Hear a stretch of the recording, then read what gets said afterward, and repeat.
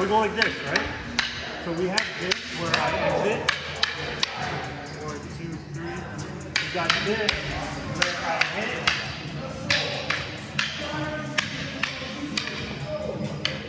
Come on, go. One, two, three, right? Now we got this one.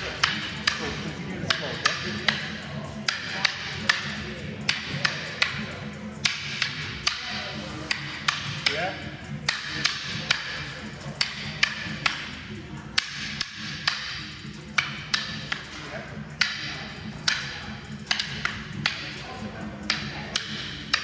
so I, I can't. I'm having trouble with my wrist doing that, but um, what we're trying to do is when you cross over like this and continue to float, we're gonna keep in this cross position. Okay, so go ahead. So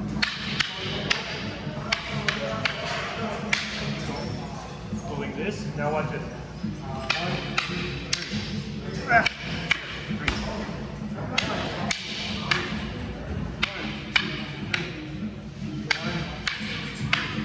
So what it is is this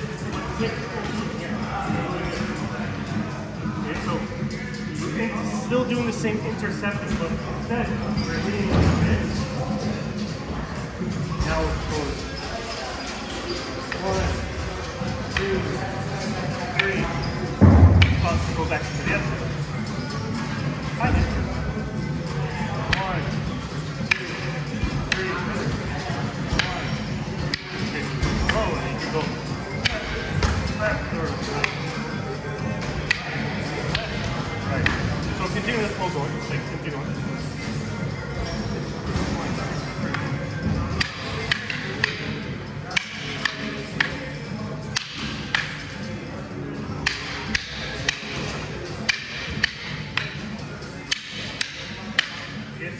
it.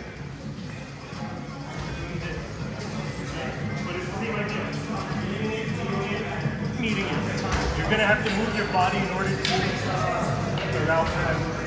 Try it out.